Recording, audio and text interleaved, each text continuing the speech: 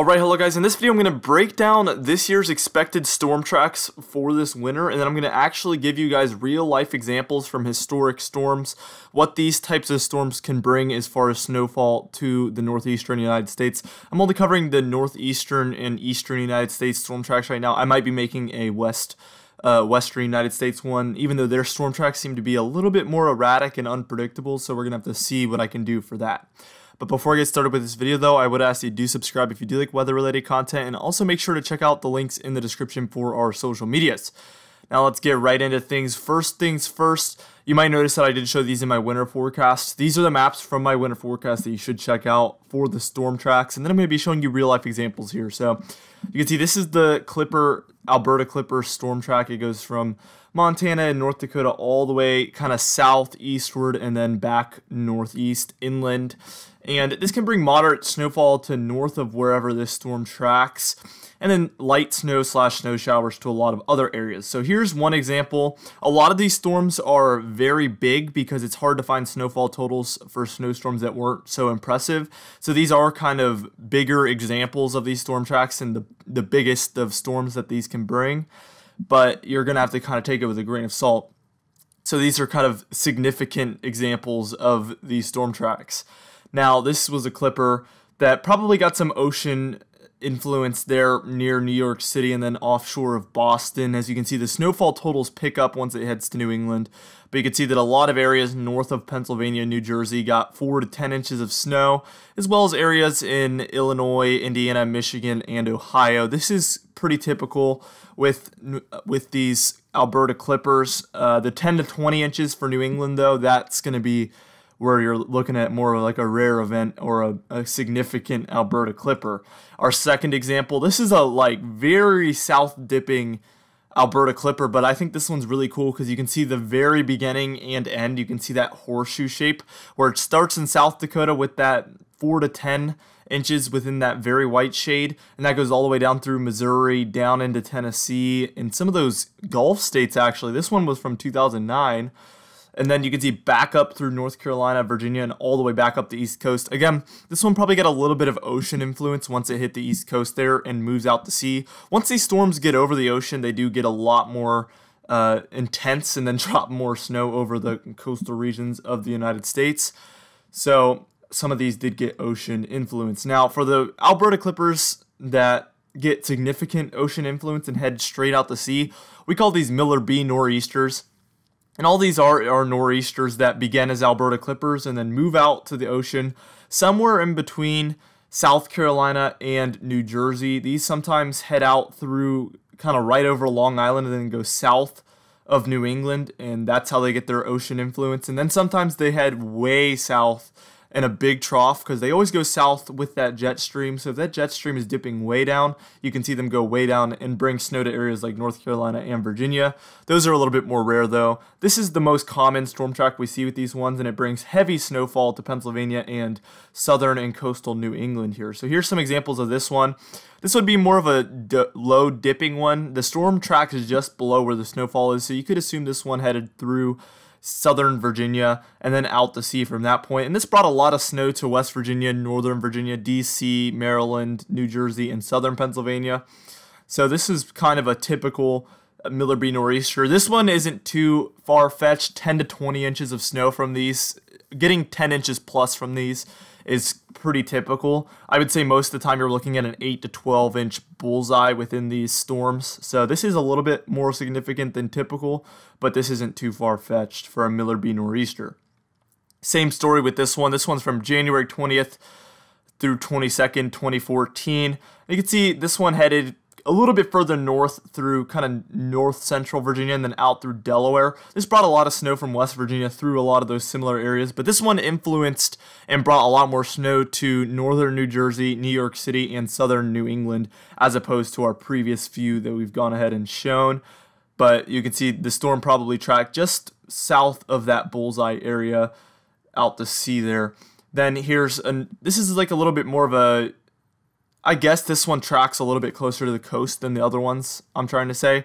Uh, this one goes out through central Virginia as well, but you could tell that it curves and goes straight up the coast because this one brings very heavy snow to all of New England, 10 to 20 inches widespread throughout upstate New York and New England alike. This would be if we see a negative NAO, which you can go back and check out my video uh, for the pattern change. That was my most recent video. That one talks a little bit more about NAO, but you would see the storm track actually track a lot closer to the coast, and this is what the result would be if the storm tracks very close to the coast.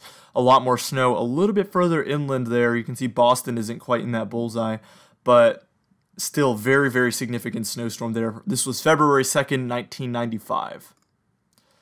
Uh, and here's another example 2015. 2014 to 2015 had a ton of these Miller B nor'easters, especially very northern based ones.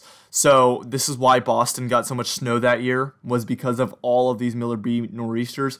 So you can see these ones actually tracked through Pennsylvania and New York City and then did that thing where I said they basically track over Long Island and then just south of New England. And this brought the bullseye through upstate New York and into Massachusetts, Connecticut, Rhode Island, southern Vermont, southern New Hampshire, and the bullseye really being Boston here, where that storm was able to just linger around right there and bring just tons of snow for a lot of these areas. This is always possible with Miller B nor'easters, but this was one of the biggest examples of a Miller B nor'easter. This was a massive one. Uh, that year, 2014 to 2015. If you lived up there, you remember it. All those blizzards that you guys had there in Boston were basically Miller B. Nor'easters. Here's another one from that same year. Again, we got a couple of those that year, January 29th through February 3rd. Now, this one tracked through Iowa, through Chicago, and then through to upstate New York, and then again, southern Vermont, southern New Hampshire, Massachusetts, Connecticut. All of these areas got 10 to 20 inches plus within that blue shade. And this one probably tracked again just south of New England and then up the coast, kind of. Now, our next one is a Miller A nor'easter, and the difference between this one and a Miller B is a Miller B starts out as an Alberta Clipper, starts up there in Montana and North Dakota and makes its way to the East Coast. A Miller A nor'easter starts out in the Gulf of Mexico and tracks up the entire East Coast. These ones are known for being even more major than a Miller B nor'easter. They cover a wider area and they're usually more intense. Now, here's a really good example of a more inland Miller A nor'easter. February 14th through 17th, 1958. Probably almost none of you remember this storm, but you can see it brought a lot of snow to the northern Gulf states, which is possible, but not always likely. It does happen sometimes where we see those areas get snowfall in extremely cold examples, but not always. But you can see this one tracked up the coast and brought a lot of snow to central Virginia through DC and Maryland. Pennsylvania, New Jersey, and then New England got blasted there with some of those dark blues bringing 20 to 30 inches of snow.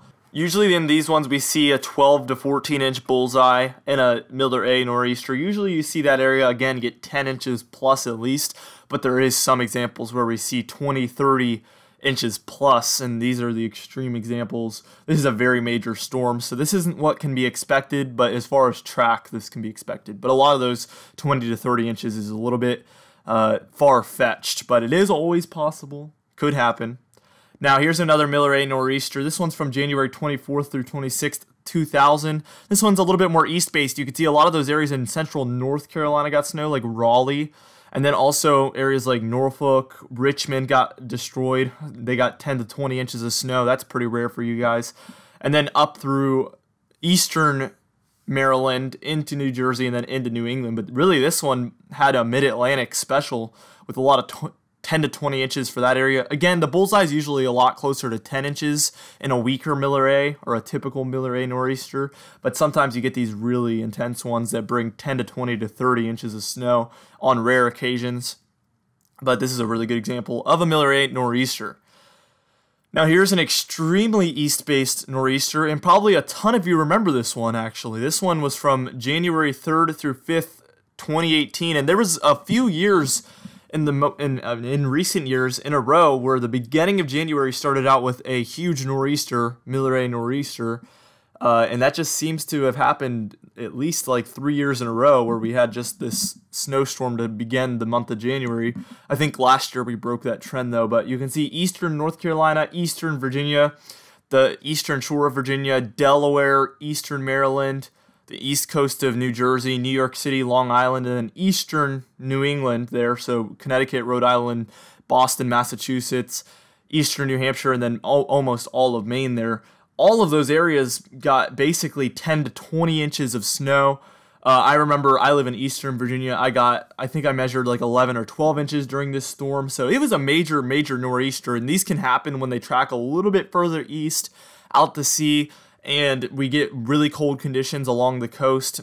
These storms can basically bring a lot of snow right up against the coast. And this is a memorable one. So you guys kind of know uh, what this would feel like. So this is not, this one actually isn't too unrealistic. On the NESIS scale, we have a category 1 here, which means it is notable, but it's not too crazy. So these do happen from time to time. That storms like this could be possible this winter. Now, for our fourth storm track, we have Appalachian Runner. This storm is basically a nor'easter that's further inland and it tracks over land. We don't consider these nor'easters. I think the official like terminology nor'easter and what would actually consider it make it considered a nor'easter is along the coast if the winds are coming from the northeast. Correct me if I'm wrong, but I believe that's actually what we would uh, classify a storm as a nor'easter. As a, a weather guy, I basically just any storm that tracks up the coast and brings snow or heavy rain to the coast during the fall and winter and spring months, I consider that a nor'easter. But there is like official like New England lingo. Uh, that's where it kind of comes from. But this this storm track tracks more over land and brings heavier snowfall further inland and basically rain along the coast most of the time. Sometimes New England though, even though the storm tracks right over you guys, you guys do get wintry precipitation, as you're going to see in these examples. Again, this is the top.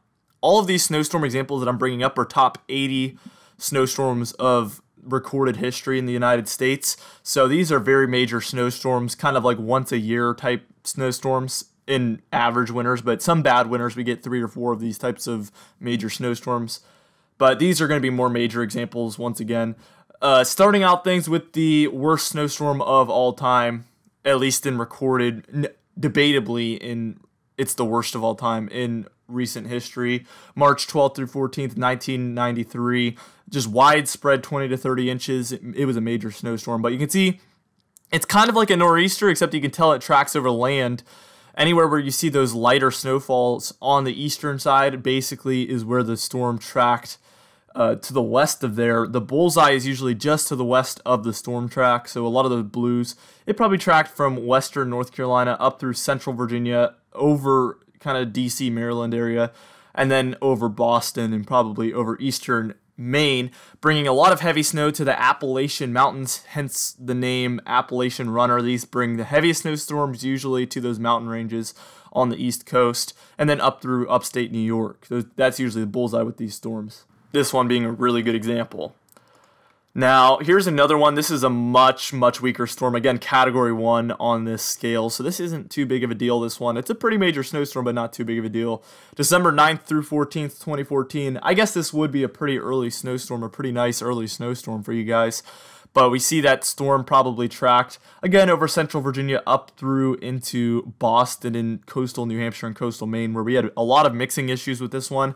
And the bullseye for this one was upstate New York, interior Vermont, and interior Maine, where we saw 10 to 20 inches of snow. These ones can be pretty major, just like a nor'easter. They don't get quite as intense usually because they don't have that ocean influence, but these can bring blizzards to the East Coast, or the eastern United States, that is.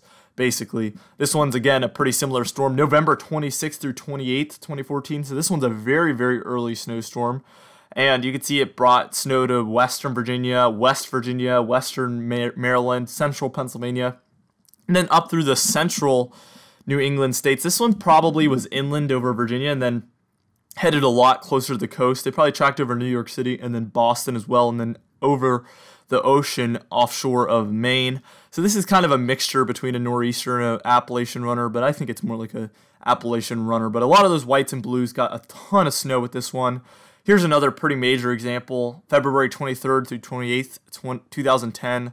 You can see this one brought a lot of snow to West Virginia, Pennsylvania, upstate New York, New York City, uh, interior, interior New England. A lot of those blues and reds are, again, 30 inches in that range. So this is a lot more of a major example, kind of once every other year type storm right here. So this is a very, very major storm, kind of a rare example. But you can see most of the snow is based inland on that one.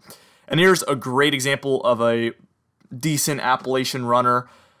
The storm on this one probably tracked over central Virginia out through New Jersey and then kind of over the ocean through New England. But the bullseye was through Pennsylvania, New York, and Vermont alike. But there was a lot of snow there for New England as well in those light blues where we saw 10 to 20 inches of snow with this one. This was February 18th through 20th, 1972. So here's all the storm tracks I just covered, and I think these are going to be the four most common storm tracks for the eastern United States.